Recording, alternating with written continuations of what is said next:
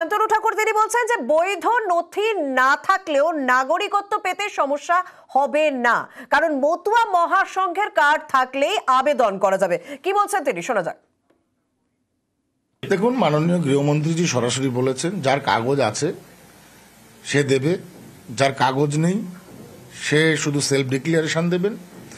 আর যদি কোনো সংস্থা আপনাদের সার্টিফাইড করে, তাহলে সেটাও অ্যাকসেপ্টেড এখানে কোনো বাধ্যবাধকতা নেই। ডকুমেন্টারি যদি দিতে হয় তাকে মতুয়া মহাসংঘের যে মেম্বারশিপের কার্ড আমার এত বড় সংস্থা, সারা ভারতবর্ষে আমাদের সংস্থা, তো আমরা নিশ্চয়ই ভুল কিছু করে তাকে কাউকে বানিয়ে দিতে পারি না।